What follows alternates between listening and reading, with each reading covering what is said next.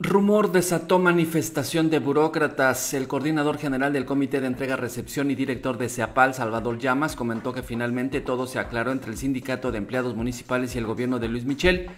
Amagaron cierre de calles y en la próxima quincena se normalizará la situación financiera de nómina y nadie despedido. Un rumor desató la manifestación por parte de trabajadores sindicalizados que demandaron despidos injustificados, pagos incompletos de nómina, falta de compromiso de jubilaciones anticipadas y la entrega de hojas en tesorería en donde obligaban a los servidores públicos dar información confidencial de los datos. Y es que un nutrido grupo de empleados afines al sindicato municipal se reunió bajo convocatoria de su líder Gilberto Lorenzo en la Plaza de Armas con el objetivo de manifestarse y hacer presión a efecto de que el presidente Luis Michel los recibiera. Finalmente ingresó una comitiva del sindicato a las oficinas del municipio y luego de una hora salieron a dar sus conclusiones.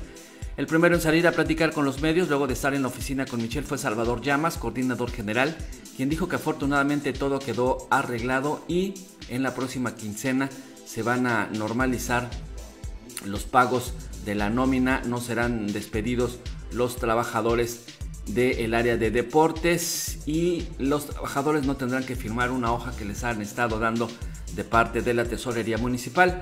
En este mismo contexto te informo que el partido Movimiento Ciudadano en el gobierno con Arturo Dávalos y Jorge Quintero sindicalizaron a personal sin la firma de Gilberto Lorenzo. Al parecer todo se fraguó con personal de la Oficialía Mayor Administrativa y de nómina del anterior gobierno naranja. No me consta, pero parece que así fue, dijo Gilberto Lorenzo en entrevista con los medios de comunicación, quien fue quien denunció que a través del personal de Oficialía Mayor Administrativa y de Nóminas, antes de que finalizara el trienio del alcalde Jorge Quintero, principalmente sindicalizó y jubiló a trabajadores quienes aún no lo merecían y lo más grave es que todo esto se hizo sin la firma del propio líder de los trabajadores. Finalmente te comento, ya hablando de dineros y de nómina, que el profesor Michel no cobró su cheque de nómina y el próximo será donado al DIF fue en una reunión privada con sus colaboradores más cercanos y los regidores de su fracción de Morena,